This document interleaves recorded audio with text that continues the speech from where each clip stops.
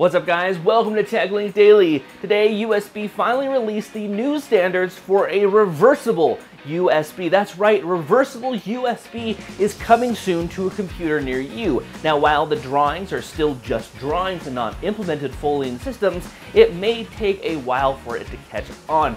But right now, from the drawings that we can see, it is going to be a very fast connection and a very small connection, meaning two things. We could see this more on mobile devices, and two, it's going to allow for maximum speed when you're transferring files. It does have basically two USB 3.0 protocols inside of it, allowing for 10 gigabits of speed to be pushed through the cable. Now, like I said, it does look small, meaning that we could see this on more mobile devices so that uh, these fast transfer speeds can be used with tablets, they can be used on your computer, and they don't have to be these giant cables taking up room from your devices. So this might be a very great thing. Well, it already is a great thing because it's reversible. Everybody loves reversible. I know I liked that Apple Lightning connector when it became reversible. That in my opinion, was one of the best things that Apple has done to the iPhone thus far, uh, but that's besides the point. USB, the next standard is here. I want to hear from you guys though. What do you think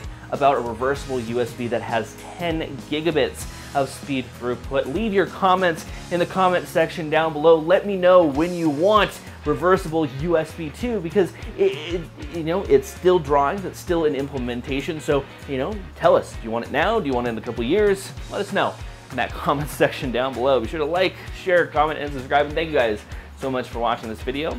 I'll see you guys next time.